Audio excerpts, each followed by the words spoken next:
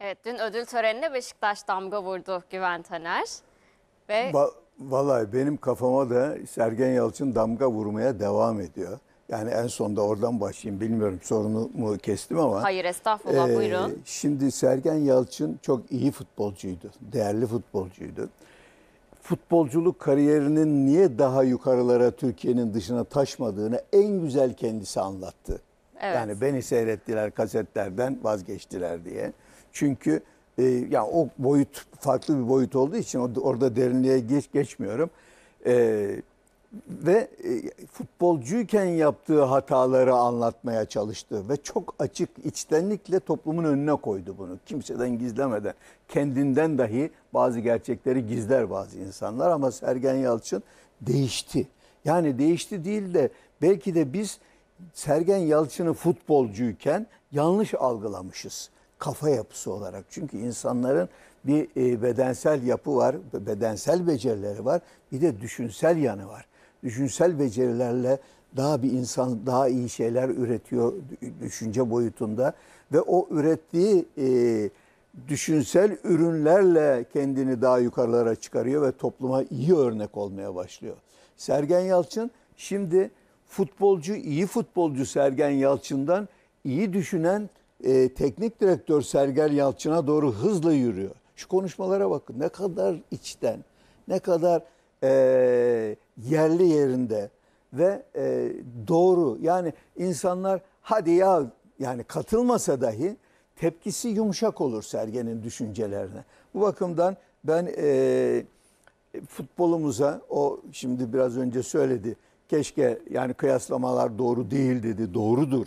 Kıyaslamanın ya öyle biz hemen bakıyoruz. Mesela istatistikler var. Derbi maçı var. Bir tarafta bir kaleci, bir tarafta bir kaleci. Tak rakamlarını koyuyoruz. Biz de yapıyoruz. Hayır, yapalım ama ona nasıl yaklaşacağımızı doğru bilelim.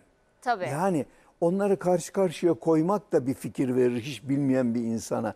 Ama e, onları nasıl okuyacağımızı doğru bilelim. Yani bir tarafta sezonluk performanslarıyla kariyerlerinin tamamını o şekilde kıyaslamamak lazım diyorsunuz. Evet tabii mesela ne bileyim işte diyoruz ki bir kulüp e, işte e, bilmem 300 maçta e, bilmem ne kadar galip gelmiş bir kulüp ne kadar galip. Ya kardeşim onun o galip geldiği veya galip gelemediği dönemlerdeki performanslar, olanaklar vesaireler var mı ortada? Yok. E, o, o, o rakamları karşılaştırmak, okumak yanlış. Yani e, işte ne bileyim e, golcüler var. E bu sene atamadı. E bu sene atamadı ama mesela Beşiktaş'ta şimdi Batshuayi diye bir adam var. Attığından çok kaçırıyor. Evet. Ama sadece golle mi değerlendireceğiz adamı? Yoksa bir hücum oyuncusu olarak takıma olan katkısıyla mı değerlendireceğiz? Bunlar işte doğru okumak diye. Adam öyle şeyler yaptı ki 3 tane golde mesela benim anımsadığım 3 tane golde tek başına uzaklardan gelip kaleciye baskı yaparak veyahut da savunma oyuncusuna baskı yaparak onlardan topu çaldı veya topu onlara kaybettirdi. Hata yapıp Beşiktaş'ın gol kazanmasına neden oldu. E yani kendisi atmasa dahi Ebat Şahin işte 3 tane golde kaldı. Kalmadı kardeşim. Yani takımsal verime ne katkı yaptı ona bir bakalım. Mesela ne bileyim işte Beşiktaş geçen yıl çok iyiydi bu sene çok kötü oldu. Ya kötü oldu ama 12 tane adamı aynı zamanda sakatlanan bir kulüp duydunuz mu? E şimdi onun yansıması olmayacak mı? Beşiktaş'ta mesela futbola biraz da dönersek. Tabii. Beşiktaş'ta öyle bir şey oldu ki e, 12 oyuncu hatta iki tanesi gerçi şimdi federasyona bildirilen listede Atakan'la Hasic yok ama 14 tane oyuncusu aynı anda aynı haftada sakatlandı ya. 10 oyuncusu sakatken yeni bir maç başladığında e, Pjanic gibi adamı daha maçın başlarında sakatlandı dışarıya çıktı. Şimdi bunların şuradan da görmek lazım. Dönüşleri oldu. E hani düzelmedi ve işte. Ya düzelmez. 10 adamın 8'i dönse dahi 8'i yani 2 hafta içinde veya 2-3 maç içinde dönmüşse bu adamların fiziksel düzelmeleri söz konusudur. Artık sakatlık ağrılarının sızlarının kalmaması söz konusudur. Ama o sakatlık dönemindeki kaybettikleri formu yeniden kazanıp kazanmadıklarını da ele almak lazım. Onları kazanmadığı için Beşiktaş'ta 5 maçın 4'ünde kayıp oldu. Ama Galatasaray'a karşı çıktıklarında sakatlarından e, arınmıştı. Ya, hala var ya sakat. O, gene de yani iyi bir takım çıkaracak kadar arınmıştı. Ve yanı sıra kendine bir özgüven eklemişti. Yani önceden kazanan Beşiktaş'a ulaşmaya çalışmıştı. Şimdi Güven Taner o karşılaşmanın yıldızlarından biri de Larin'di malum. Ee, özellikle sezon başından beri gidecek mi kalacak mı tartışmaları var. Şimdi biraz önce de izledik. Ee, Ahmet Nur Çebi o da kalmak istiyor biz de kalmasını istiyoruz. Demek ki kalacağız şeklinde bir yorum yaptı. Sizce Larin devam etmeli mi Beşiktaş'ta? Ben şimdi e, bir özrümü burada açıkça dile getireyim. Ben bir sene önce Larin hani kiraya verilmişti Evet, ya. evet. Oradan döndürüldüğü zaman Beşiktaş'ın Larin gibi bir oyuncu istihdam istihdam etmesi ne hiç hoş karşılamamıştım. bulmuştunuz? Yanlış bulmuştum.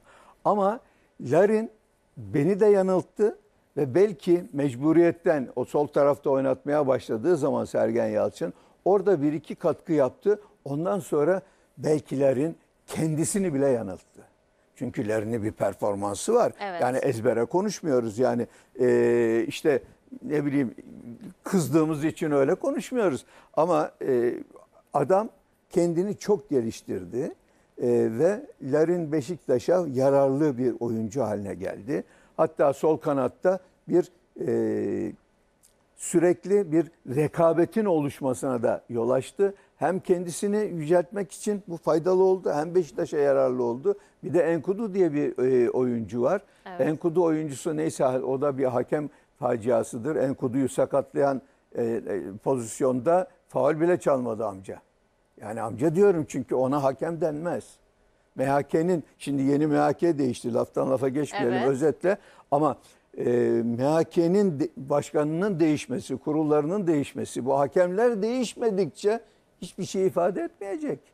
Yani yeni bir şey çözüm getirmeyecek. Yani Larin'e dönersek Larin gerçekten Beşiktaş'a yararlı bir oyuncu e, pozisyonuna geçti. E, onun kalmasını e, Beşiktaş e, kulübü isteyecektir.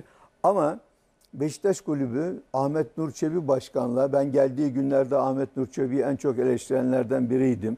E, çünkü Fikret Orman'a sanki Fikret Orman'dan intikam almaya gelmiş gibi bir havalar vardı. İşte bu Beşiktaş'ın içinden çıkılmaz halde bunu nasıl düzelteceğiz falan gibi demeçleri vardı. Oradan çabuk kaçtı o düşüncelerden.